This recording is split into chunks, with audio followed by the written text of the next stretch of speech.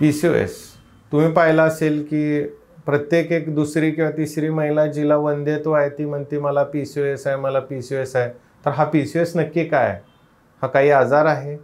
किंवा ही काय कंडिशन आहे? किंवा काय आहे? त्याच्याबद्दल आपण थोडं समजून घेऊयात. बऱ्याचदा असं होतं की म्हणजे आपण जातो लोकल प्रॅक्टिशनरकडं किंवा स्कॅनवरती पी सी ओ एस हा तुम्हाला एक शब्द दिसतो आणि तुम्ही त्याला घाबरून म्हणता की पी सी ओ एस आहे.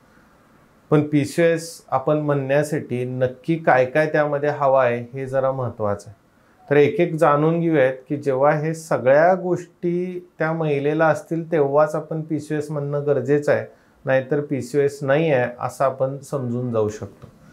तर जो आपण क्रायटेरिया वापरतो पी सी एस डायग्नोज करण्यासाठी तर त्याच्यामध्ये अंगावरनं कमी जाणं किंवा अंगावरनं न जाणं त्याचबरोबर पुरुषी थोड्याशा गोष्टी असणं जसं की दाढी असणं मिश्या असणं अशा गोष्टी.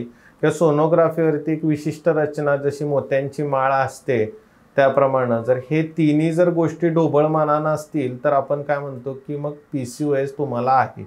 पण यातलं एकच गोष्ट असेल किंवा दोनच गोष्टी असेल तर आपण पी सी ओ एस म्हणणार नाही. त्यामुळे विनाकारण घाबरू नका की मला पी सी ओ एस आहे पी सी ओ एस आहे. तुम्ही विचारावं तुमच्या डॉक्टरांना की हे सगळ्या गोष्टी माझ्यामध्ये आहेत का? आणि जर ते दिसल्या तर स्वतःला तुम्ही पी सी एस असं समजून चाल. तर यात एक छोट्या छोट्या गोष्टी आपण बघू.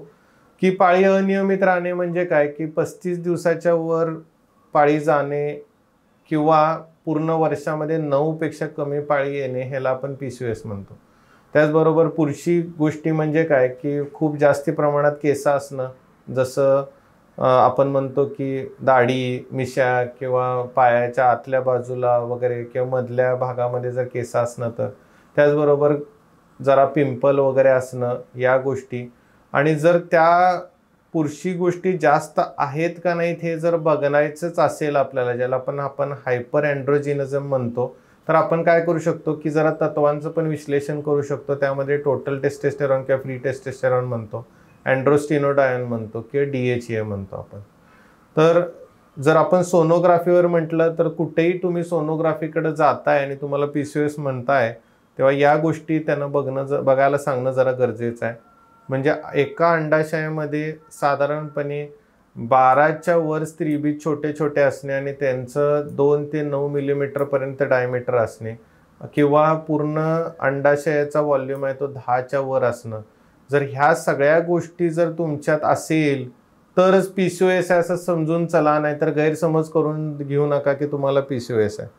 त्याचबरोबर आपण एक रक्ताची टेस्ट करतो ए एम एच नावाची. तर ह्याच्यावरनं पण आपल्याला बऱ्यापैकी पी सी ओ एसचं प्रमाण कळून जातं. की समजा ह्याची जर संख्या चारच्या आत असेल तर आपण थोडं पी सी ओ डी साईडला कमी म्हणतो. चार ते सहा असेल तर आपण माइल्ड म्हणतो. सहा ते आठ असेल तर आपण मॉडरेट म्हणतो आणि आठच्या पुढं म्हणजे सिव्हिअर म्हणतो.